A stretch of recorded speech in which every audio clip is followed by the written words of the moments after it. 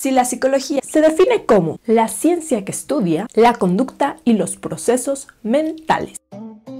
¿A qué se dedican exactamente los psicólogos? La opinión generalizada es que nuestro trabajo consiste en leer la mente. Aunque puede resultar muy útil que la gente lo crea, en realidad no es así y hacemos mucho más. Algunos estudian el cerebro humano para averiguar cómo influye en nuestra conducta. Otros tratan a pacientes que sufren trastornos o enfermedades mentales. Unos trabajan con niños que tienen dificultades en el aprendizaje. Otros colaboran en el diseño de campaña para promover hábitos saludables como dejar de fumar. Otro grupo de psicólogos trabaja con empresas y organizaciones para mejorar su eficacia.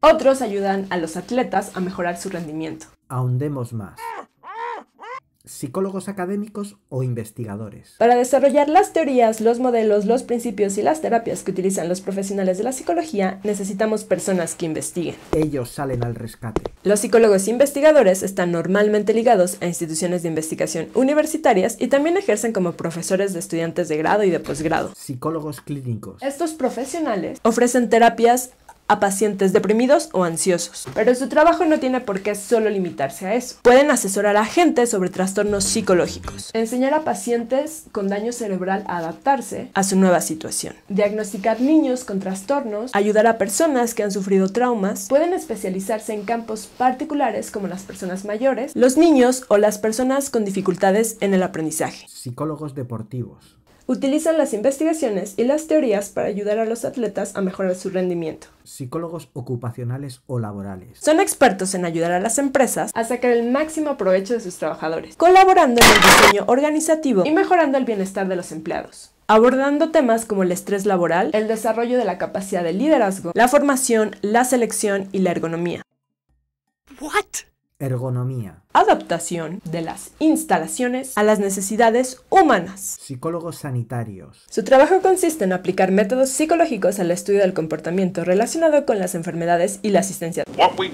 Pueden colaborar en el diseño de campañas para animar a la gente a comer saludablemente a dejar de fumar o a realizar revisiones médicas. Otra de sus labores es trabajar con pacientes con enfermedades médicas de larga duración, para enseñarles a adaptarse a su nueva situación y a cumplir con los regímenes de tratamientos o medicaciones. Psicólogos forenses o legales. Suelen trabajar en entornos criminales, como las prisiones. Colaboran en los tratamientos y la rehabilitación de los delincuentes y a veces ayudan al personal de la prisión a superar el estrés y otros aspectos de su vida y trabajo. También se les pide asesoramiento sobre si un criminal puede ser puesto en libertad, en libertad condicional o si son un peligro para la sociedad o para ellos mismos. Otro de sus posibles labores es el diseño y la puesta en práctica de programas de formación para delincuentes, como control de la ira, o en general cualquier otra actividad destinada a mejorar los regímenes penitenciarios. Psicólogos educativos. Evalúan diversos aspectos del desarrollo de los niños y después trabajan con las escuelas para diseñar programas de intervención que ayuden a los menores a alcanzar los objetivos del currículo y a desarrollar su potencial.